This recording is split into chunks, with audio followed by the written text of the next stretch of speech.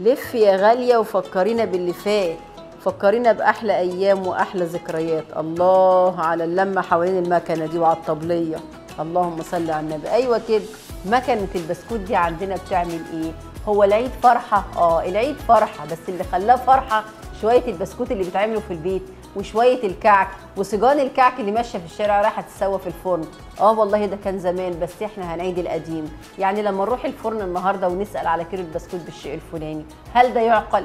لا خالص. هاتي بقى بيضتين وهاتي ربع كيلو سمنة وشوية الدقيق بتاعك ونعمل أحلى بسكوت. لو عندك المكنة دي يا سلام أنا هاجي ألفها لك. لو ما عندكيش المكنة هقول لك تستبدليها بإيه. هنسمي بسم الله ونعمل أحلى بسكوت للعيد وليالي العيد وجمال العيد ولمة العيد. بسكوتنا الجميل مش هنعمله بالزبدة عشان ما يكلفناش إحنا هنعمله بالسمنة. عندي 250 جرام سمنة بحرارة التلاجة يا جماعة. يعني تبقى إيه؟ ماسكة نفسها شوية. بسم الله. حطي المقدار كله في البولة. السمنة بتدي ريحة حلوة جدا جدا للبسكوت. وهقول لك كمان دلوقتي تستبدلي البيض بإيه؟ عشان حلاوة البسكوت بتاعتك تبقى خفيفة كده. هتحطي 150 جرام سكر بودرة. والسكر البودرة يا جماعة يا ريت يبقى منخول. بسم الله. هنقلبه بس كده بالمعلقة تقليبة خفيفة عشان أضيع معالم السكر وأعمل بقى بالمضرب. ما عندكيش مضرب؟ تبقي واكلة اتنين بيضة كده وعندك بروتين كفاية في جسمك واضربي بإيديك يا ست البنات. يلا شد حيلك بقى واضربها لي ضرب حتى تبيض. يعني نحس إن هي خلاص قوامها كريمي وبيضة ودي خطوة مهمة جدا في البسكوت والبيتفور اللهم صل على النبي. نوع السمنة بيفرق جدا هنا.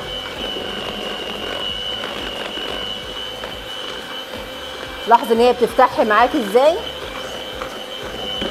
أنا هشيل بقى المضرب منها وأنزل بقى بالبيض والفانيليا. بصوا أنا ضربتها لحد ما لونها بقى فاتح وقوامها كريمي.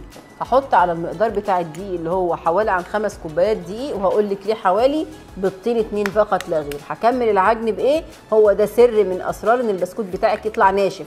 هنكمل العجن باللبن. وكمان بيضة. بعد ما نزلنا بالاثنين بيضة هننزل بقى بشوية الفانيليا. بالرغم إن إحنا هنعمل بسكوت النشادر بس عشان البيض لازم تكة الفانيليا. واضربي تاني يا ست البنات. هندلنا نضرب بقى لحد البيض بتاعنا ما يختفي تماما. تعالي بقى بعد ما ضربنا البيض في السكر في السمنة اركنيه على جنب وتعالي بقى نتكلم مع بعض كلمتين. بسكوتك بسكوت نشادر. بس لازم يتحط له فانيليا ويتحط له baking powder لو أنا حطيت baking powder كتير هينفخ يبقى ملظلظ كده. لو حطيت له نشادر كتير هينفخ برده يبقى ملظلظ فلازم أمسك العصاية من النص. أعمل إيه في العصاية بقى؟ أحط نص معلقة من ال baking powder تعالي بقى شوفي قد إيه أهي. عشان ما يطلعش معاكي إيه؟ منفوخ. وهنزل عليه بنص معلقة من النشادر.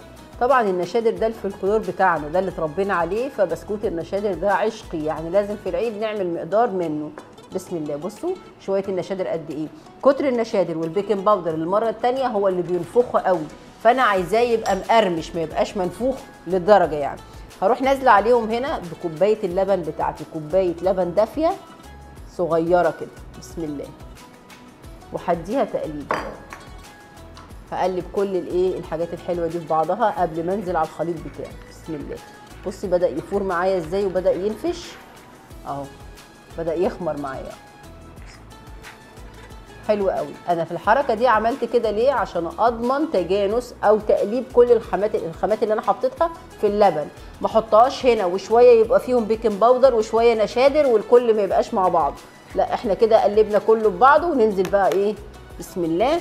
على المقدار اللي إحنا عملناه ونرجع نضرب كمان شوية. ده كله قبل الدقيق يا جماعة. كده إحنا قلبنا كل الحاجات الحلوة دي في بعض. طب تعالي نتكلم مع بعض كلمتين. هو انت ممكن يا حرحر تعجني البسكوت بالبيض كله؟ آه ممكن ياخد معاكي المقدار ده ياخد معاكي خمس بيضات. لكن أنا لما بقلل البيض وبحط شوية اللبن بتنشف معايا البسكوتة شوية بتبقى خشنة. لما أجي أسقطها في في الشاي بلبن ما تنهارش وتغمى عليها لا تبقى ماسكة نفسها شوية. ولما أجي أرص البسكوت في علبة يقعد عندي فترة ما يتفتفتش. حتى لو اتنقل ما يتهريش تبقى البسكوتة ليها كيان وماسكة نفسها كده. هنا أنا عندي خمس كوبايات دقيق. هنزل بيهم كلهم؟ لا أنا هنزل بيهم على مراحل وأشوف أنا الخلط ده أو الخليط ده عايز مني كام كوباية. بسم الله. اللهم صل على النبي. صراحة اللحظات دي بتبقى كلها فرحة يا جماعة وبتبقى لمين الأسرة كده؟ كان زمان طبعا كنا بنعجن في طشت اسمه طشت العجين. كان الجيران يروحوا لبعضهم النهارده نعجن مع بعض وبكرة إحنا عند الجيران وبالتبادل لحد ما نخلص رمضان في الكعك والبسكوت بسم الله. بصي هنقلب إزاي؟ تقليبة خفيفة من تحت لفوق كده عشان الهواء اللي إحنا دخلناه ما يطلعش مننا. بصوا بخفة كده. لو انت عايزة بقى لون البسكوت يبقى غامق ممكن تحطي له نص معلقة زعفران ممكن تحطي له معلقة بودرة برتقان يخليه معاكي غامق شوية. أو برتقاني كده.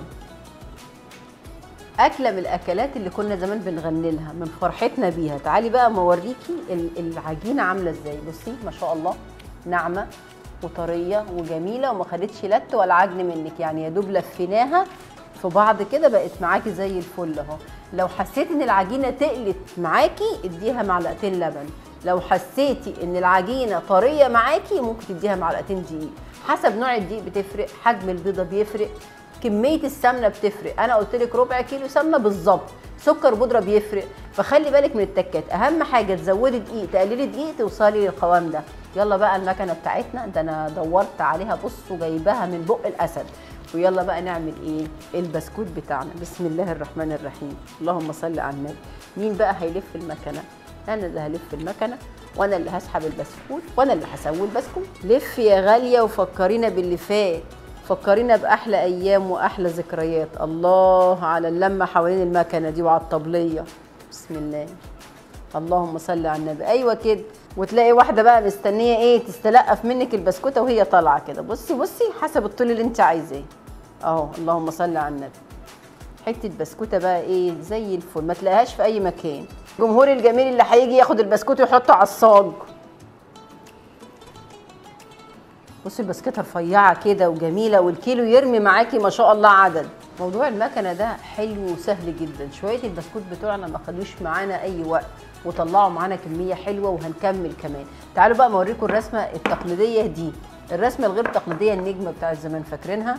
لقيتها في الحاجات بتاعت المكنة قلت أجربها. هناخد بقى السجان بتاعتنا على الفرن السخن. لو هتسوي بره زي زمان مفيش مشكلة. لو هتسوي عندك في البوتاجاز هتظبطي الفرن بتاعك على 200 والشبكة في النص. بالظبط مش هياخد 10 دقايق الصاج وهيطلع معاكي على طول. العيد جه وصلوه. وأنا بقى بعمل شاي بلبن. بصوا اللبن حتى شوية اللبن صغيرين بس مش مشكلة. البسكوت بتاعنا غطى على كل المواضيع. شوية البسكوت دول من مقدار الدقيق اللي إحنا عملناه. يعني هتقومي دلوقتي حالا تفرحي ولادك وتفرحي جوزك وتفرحي البيت كله وتعملي مقدار البسكوت بتاعنا ده. لو عجبك يا ست البنات ضعف المقدار وفرقي على الحبايب. مقدار البسكوت بتاعك ده هيشجعك ما تقفيش قدام فرن ابدا ابدا وتسمعي الأرقام الخزعبلية اللي إحنا بنسمع عنها اليومين دول. شوية السمنة من البيت وبيضتين واعملي لولادك أحلى بسكوت. بصي تعالي طبعا الرسمة دي النجمة بتاعت زمان فاكرينها؟ وعملنا دي جميلة قوي قوي ورفيعة ووقعت واتكسرت. بصوا هش بالرغم إن البيض بتاعه قليل بس هش جدا وجميل ورسمته تحفة. وتسويته مفيش ما أخدش 10 دقايق في الفرن.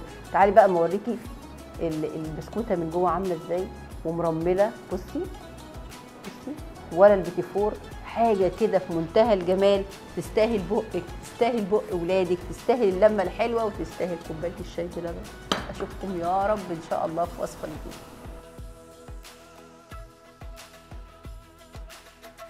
كل وصفاتنا تجدوها حصريا على موقع الوصفة dot com.